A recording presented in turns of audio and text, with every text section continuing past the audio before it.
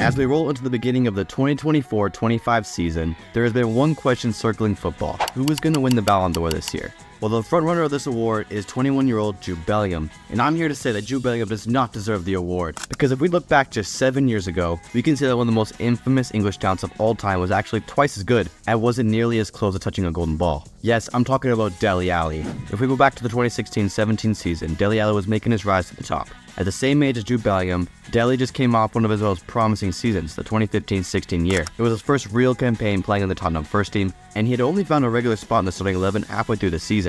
Once he had that opportunity though, he started to ball out at world-class levels and shocked the Premier League with his talent. Chris has tweeted in, does Frank wish he could be as good as Dele Alli?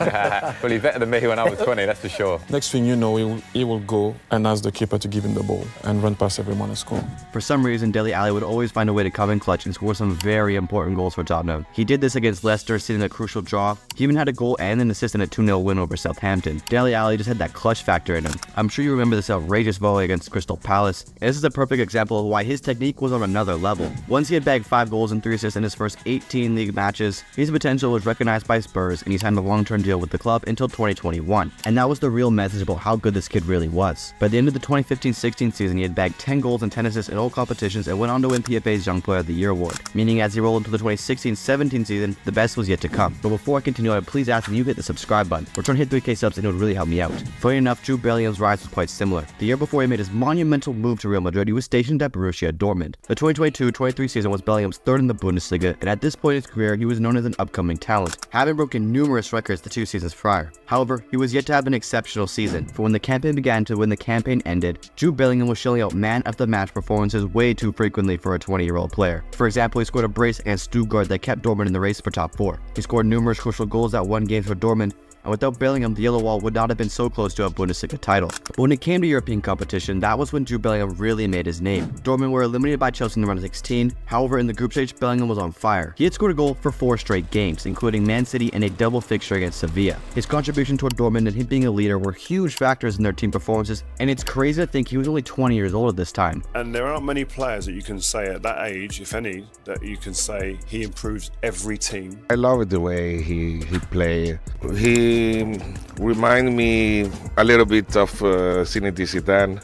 Real Madrid obviously have a knack for picking out the world's best talents, which is exactly why they would sign him during the summer transfer window. When I recap the rise of both of these players, it seems like Jude Bellingham has way more potential, but you gotta let me explain. The 2016-17 season from Dele Alli was a work of art. Every single match he played, you would find some way to make an impact. Whether it was weaving in and out of defenders, confusing the goalkeeper, scoring some outrageous goal, or even starting a fight, there was something to see whenever Dele Alli stepped foot on the pitch. It was rare that he would ever play it safe and not try to do the impossible, which is what made him such an exceptional player. He never wanted to play in the lines. In the 2016-17 season, he made his Champions League debut and even scored and assisted two goals in the group stage. Before Spurs were eventually eliminated, we saw this coming. But in the Premier League, he was making waves. It took him a few games to score his first goal, but once he got going, there was no stopping this man. He's given the full green light with a consistent spot in the starting 11 and got himself into a generational run of form, especially in January of 2017.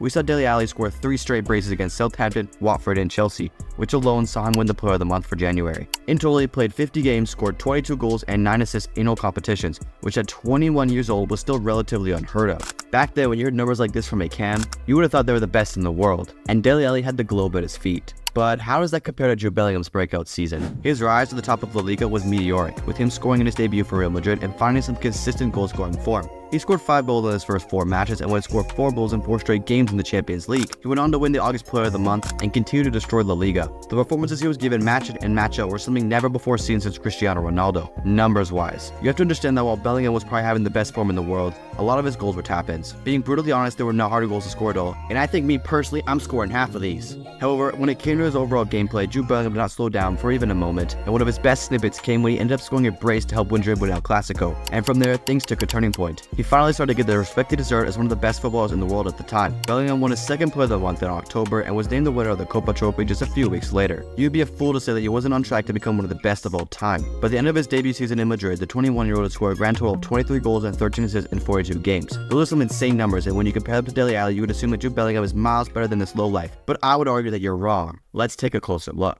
Obviously, we look at the fact that Jude Bellingham won the Champions League, Liga, and Spanish Cup. He's a much better player if we judge off of that. But we can't, because Dele Alli for Spurs, and Spurs suck. Every Premier League campaign from Spurs reminds me of the Kayaks. so we have to judge these players off their individual regards. Although in almost every available metric season by season, Jude Bellingham has better stats, that doesn't make him a better player though. If we start with Bellingham, for example, he scored 19 goals in La Liga, right? But in the overall weighting, according to FootyStats.com, we can see that Jude had an XG of 16.08 in the 2023-24 season, where Dele Alli had an XG of 14.71 in the 2016-17 season. That effectively tells us that Dele Alli had less clear-cut chances and still managed to score just one goal less than Jude Bellingham. And let me remind you that 9 goals out of every 10 Dele Alli has scored were absolute bangers in one way or another. So statistically speaking, Dele Alli is a more effective goal scorer than Jude Bellingham. That's a crazy statement. When Dele Alli was 21 years old, he had 56 goals to his name after the 2016-17 season, which was his best of all time, and Jude Bellingham at the same age only had 51 goals. We also have to consider he's playing for the most dominant team in Spain, and probably one of the best squads in the entire world, while Dele Alli had to play in the 2016-17 Spurs team. But a few stars like Heung-min Son and Harry Kane, we can't forget Eric Dier as well. Hi, I'm Eric Dier. But let's be honest, this team does not touch today's Real Madrid. And with the system Spurs was playing with back then, Dele Alli had to do much more of the work on his own. There was no Luka Modric to send in through balls. There's been very few players that can recreate this type of wizardry on the field, and I'd honestly miss this kind of creativeness from players. Nowadays in today's game, the manager has so much control over how his team plays. But I feel like five, six years ago, there was much more opportunities for players to shine and do their own thing, be creative, and think outside the box. It's just rare that we see that now. We also gotta consider that Dele Alli does not really fit into any rigid system. Like imagine Dele Alli playing under Pep Guardiola. It would be an absolute disaster. Whereas Jude Bellingham can be a role player and really fit into any tactical team, which makes him a good role player, but you lose that creativity and individual brilliance that, that today's game is missing, like I said. Obviously, opinions of football are subjective, and it's up to you whether you agree with me or not. And honestly, I couldn't care less. I personally think that the contributions of players go beyond statistics, and when you consider the circumstances Dele Alli was playing in compared to Jude Bellingham, it makes what Dele Alli did look much more impressive. Let me know what you think in the comments down below, and I'm also prepared for the colossal amount of hate comments I'm gonna get. And while you keyboard warriors are down there, you might as well just drop me a sub. Anyways, as always, I'll see you next week.